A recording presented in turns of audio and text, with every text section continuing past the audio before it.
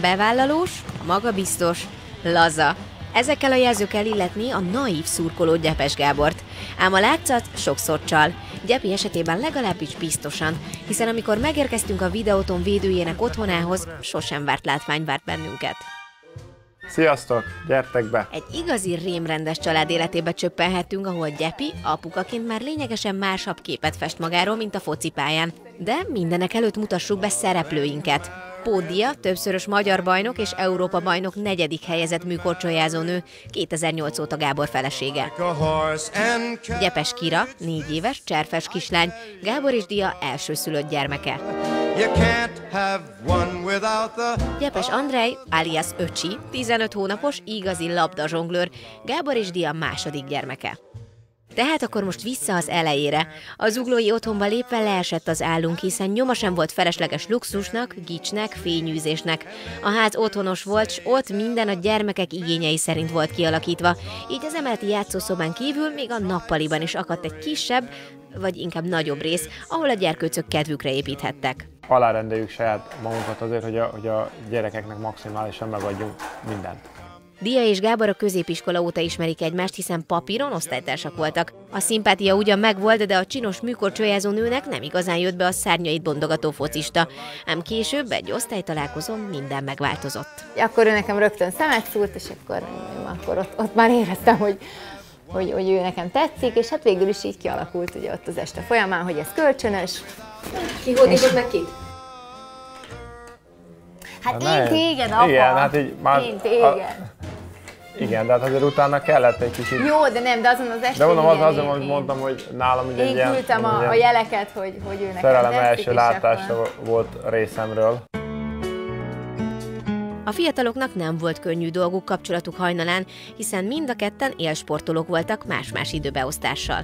Ez az első nehézséget az okozta, hogy összejöttünk, és nem sokkal később én Ausztriába költöztem, mert én osztrák színekbe kezdtem el versenyezni, és, és mondjuk az volt az első ilyen próbatétel, hogy összejöttünk, nagy a szerelem, minden szuper, és akkor, uff, akkor irány. És az akadályok leküzdése után szépen lassan felnőtté váltak egymás mellett.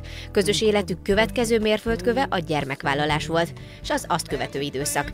Hiszen Gábor ez idő alatt Angliában játszott, s Dia egyedül maradt Magyarországon a két kicsi gyerekkel.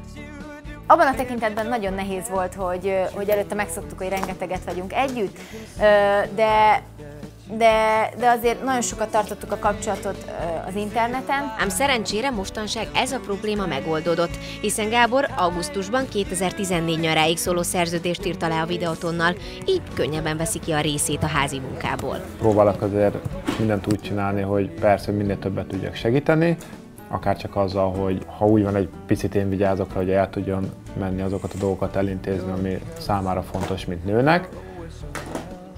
Na, én vallom, hogy egy anyuka boldog, akkor boldog mindenki. Ha anyuka boldog és kiegyensúlyozott, akkor azt a gyerekek is azok boldogok. Ha anyuka boldog, akkor apuka is boldog, mert akkor szívesen jön haza a feleségét. És erre ez a család tökéletes példa, hiszen apuka gyepeséknél szeret hazajárni. Nagyon szeretünk együtt lenni, szóval ha most nekünk úgy adódik, hogy nem tudunk menni sehova, akkor is mi boldogan töltjük el a, az időt együtt. Igen, de ezt még már csak a kapcsolatra levetít, hogy mi, mi barátok is vagyunk, és szerintem ez nagyon fontos egy kapcsolatban, hogy ne, ne csak a férj, tehát hogy a férfi, meg a női szerepet töltsük be, hanem mi tényleg így, így órákat akkor- tudunk beszélni, még egykor is, már beszélgessünk. megy, megy, megyünk, megyünk az ágyba, ott vagyok, már, már, már azon gondolkodom, hogy úgy, úgy de jó lesz aludni, meg, meg jobbra fordulni, meg balra fordulni, és a dia valamiért nem álmos, és akkor ú, apa, beszélgessünk már. Megbeszélni való pedig mostanság akad bőven, hiszen Gábor Juhász Roland sérülése miatt esélyt kapott a Fehérvári klubnál, bizonyítási vágya pedig óriási. De addig is, hogyha a pályára lépek, akkor, akkor csinálom a dolgomat, próbálok minél jobban játszani, hogy hogyha esetleg úgy alakul, akkor, akkor, akkor ne azt mondják, hogy, hogy, hogy jó, amiért leigazoltunk, azt megtetett, hanem esetleg eh, eh, akár hosszabb távon is számítanának rám. De vajon mit szól új csapattársához Juhász, aki egy hasonlóan rutinos riválist kapott Gábor személyében? Én mindig is örültem, hogyha versenyhelyzet volt, engem ez, nekem ez plusz motivációt adott, miért ne játszhatnánk akár együtt a Gyepivel is, szóval itt egyrészt persze ugye vetítársak is vagyunk, mert ugye egy poz, akár hogyha két jó formában lévő játékosról van szó, akkor akár egymás mellett is tudnak játszani. Volt már erre példa válogatottban is. Ahogy a mellékelt ábra mutatja, a srácok közt nyoma sincs féltékenységnek. Ám hogy Gábor pályafutása a Vidinél folytatódik-e 2014 nyarától, vagy ismét külföld felé veszi az irányt a gyepes család, nem tudhatjuk. De talán egy ilyen rémrendes familiánál mindegy is.